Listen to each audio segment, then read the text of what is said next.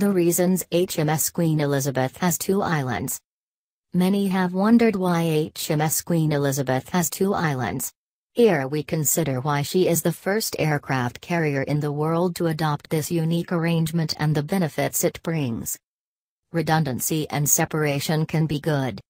In a moment of inspiration back in 2001, an RN officer serving with the Thales CVF design team developing initial concepts for what became the Queen Elizabeth class, hit upon the idea of separate islands. There are several advantages to this design but the most compelling reason for the twin islands is to space out the funnels, allowing greater separation between the engines below. KEC has duplicated main and secondary machinery in two complexes with independent uptakes and downtakes in each of the two islands.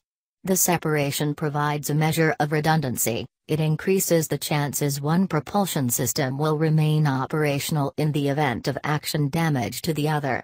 Gas turbine engines, situated in the sponsons directly below each island of the KEC, by their nature require larger funnels and downtakes than the diesel engines, in the bottom of the ship.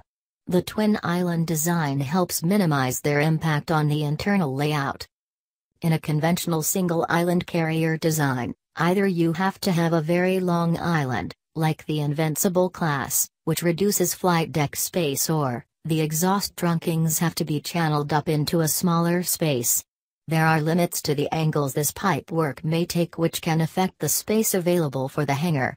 The uptakes can also create vulnerabilities. The third HMS Ark Royal was lost to a single torpedo hit in 1941, partly due to progressive engine room flooding through funnel uptakes. The twin island design has several other benefits. Wind tunnel testing has proved that the air turbulence over the flight deck caused by the wind and the ship's movement is reduced by having two islands instead of one large one. Turbulent air is a hindrance to flight operations and aircraft carrier designers always have to contend with this problem. Twin islands allow greater flight deck area because the combined footprint of the two small islands is less than that of a single larger one. By having two smaller islands it allowed each to be constructed as a single block and then shipped to Rosyth to be lifted onto the hull. The forward island was built in Portsmouth and the aft island built in Glasgow. This arrangement solves another problem by providing good separation for the main radars.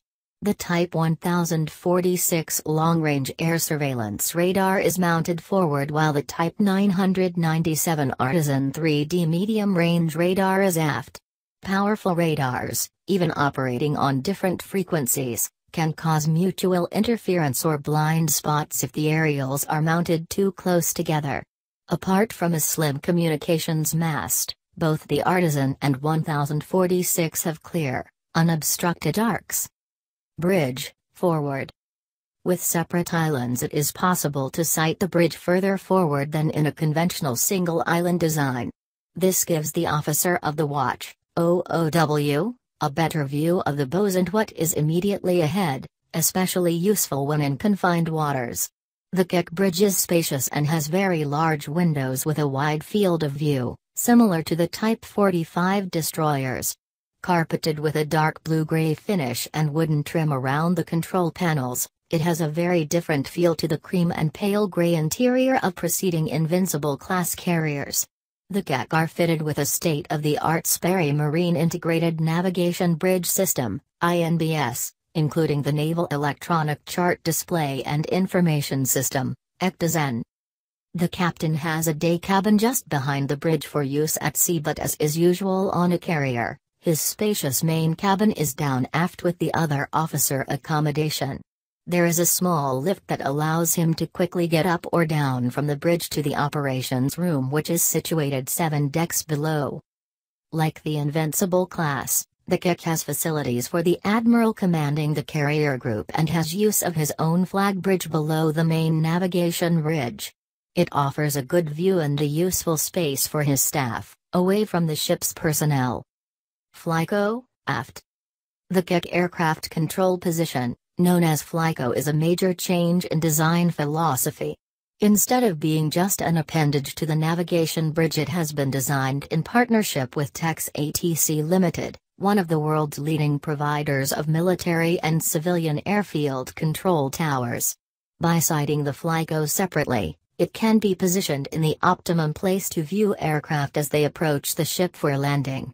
This is the moment when the pilot requires most help from the ship and a dedicated aircraft controller sitting in Flyco, usually a former pilot, can help talk the plane down if needed. The Kick Flyco projects out from the aft island and has enormous 3-meter tall windows with providing a 290 degrees view over the flight deck. Such tall windows allow a good view of high-flying aircraft for all, including for the personnel sitting in the small raised gallery at the back of the Flyco. In some older ships, the cramped Flyco position looked like an afterthought it was sometimes necessary to get right up close to the small windows to see high-flying aircraft. Flyco can issue instructions to the aircraft handlers on the flight deck via their headsets or using large LED displays mounted on the side of the aft island.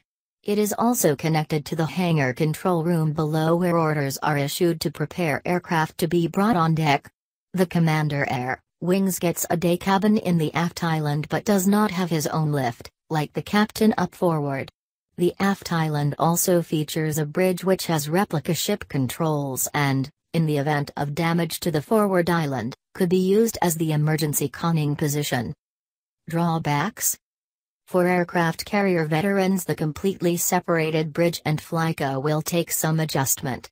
Because the ship's course and speed need to be carefully coordinated with flying operations, the close proximity of the OA to the flight controllers helped them work together.